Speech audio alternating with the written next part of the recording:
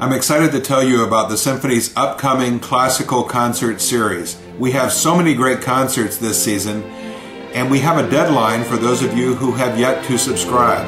It's Saturday, September the 15th.